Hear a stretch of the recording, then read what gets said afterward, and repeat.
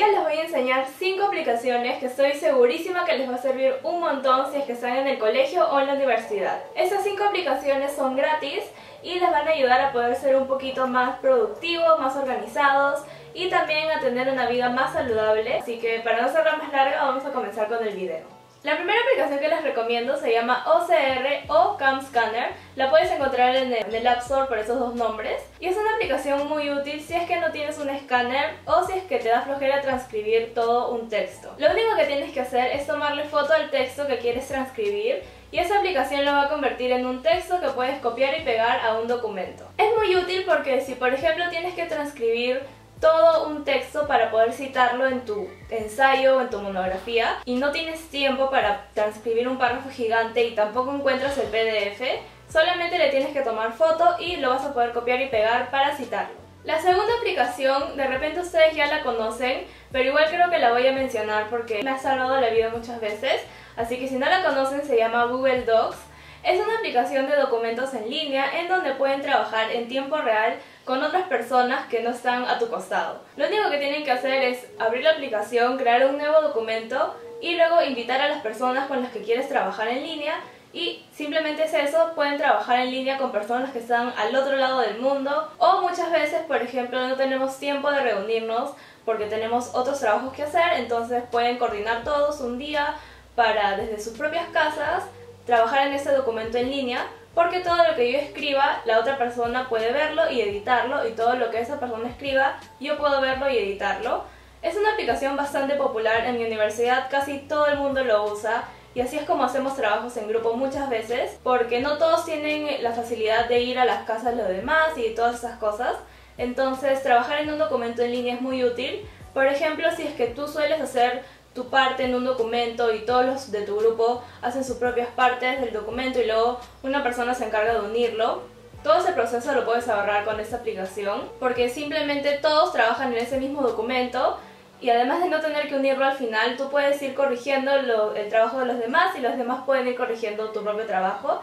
Así que es una aplicación bastante útil y te salva la vida cuando tienes que hacer trabajos en grupo, pero no tienes tiempo para reunirte con todo tu grupo. Si eres de las personas que se distraen muchísimo al momento de estudiar o de hacer trabajos y todo eso, porque dices, bueno, voy a entrar a Instagram 5 minutos o a Facebook 3 minutos y al final te quedas una a dos horas viendo las fotos de los demás y todo eso, te recomiendo que te descargues Freedom. Es una aplicación que te bloquea las aplicaciones que más te distraen. Por ejemplo, puedes bloquear Instagram, puedes bloquear Facebook, Twitter, todo eso.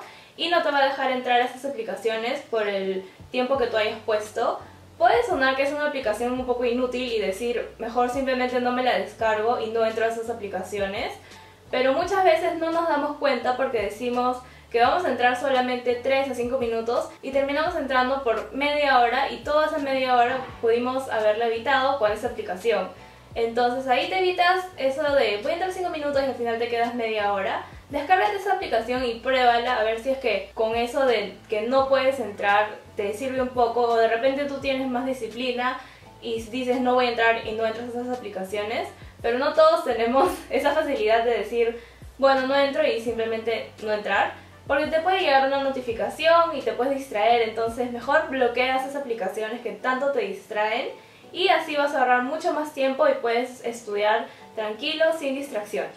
La siguiente aplicación no es para estar más organizado, para ser más productivo y todo eso, pero creo que de todas maneras es súper importante. Se llama Headspace y es una aplicación para meditar. Yo sé que puede sonar como raro que lo recomiende en un video de aplicaciones para estudiantes, pero yo sé que la universidad, el colegio y hasta el trabajo nos puede brindar un montón de estrés y cuando estamos estresados muchas veces no sabemos cómo manejar eso y yo creo que la meditación es una muy buena forma de manejar el estrés que nos puede brindar la universidad, el colegio, el trabajo, la vida entera.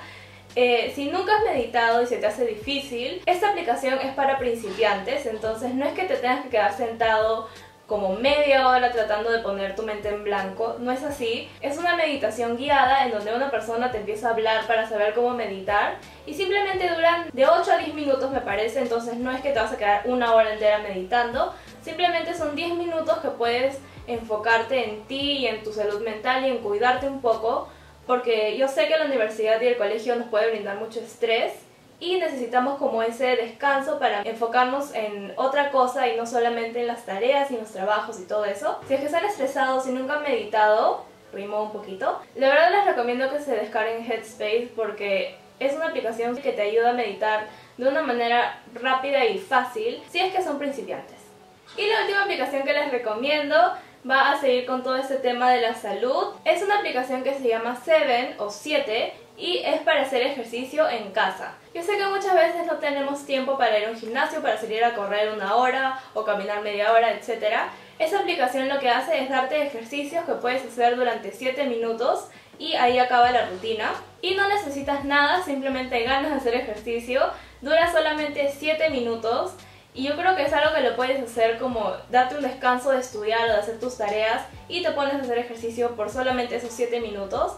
Yo sé que no va a tener el mismo beneficio de que hagas ejercicio por media a una hora, pero mejor hacer 7 minutos a no hacer nada. De todas maneras va a tener un montón de beneficios para tu salud física y tu salud mental, que creo que es muy importante. Entonces, si es que no tienes mucho tiempo para hacer ejercicio, 7 minutos de tu día no es nada y estoy segurísima que todos pueden hacerlo. Y si quieres ejercitarte por más tiempo, lo único que tienes que hacer es hacer esta rutina de 7 minutos de nuevo y de nuevo y de nuevo hasta que llegues al tiempo que tú quieras. Puedes hacerlo dos veces y haces 14 minutos o más. Entonces creo que es una aplicación súper útil por si no tienes tiempo de hacer ejercicio cuando estás en la universidad o en el colegio. Y esas son todas las aplicaciones que les recomiendo que se descarguen si es que son estudiantes porque les va a ayudar un montón a ser más organizados y productivos. Y bueno, espero que les haya gustado el video. Si les gustó y quieren ver más videos de este tipo en donde les recomiendo aplicaciones ya sea para ser más saludables o para editar fotos, esas cosas, le pueden dar like al video y decírmelo en los comentarios para poder grabar más videos de este tipo. Y no se olviden que si son nuevos al canal se pueden suscribir en el botón que está por aquí abajo y darle click a la campana para que no se pierdan de los próximos videos. Y ahora sí me voy y nos vemos en el próximo video. ¡Chao!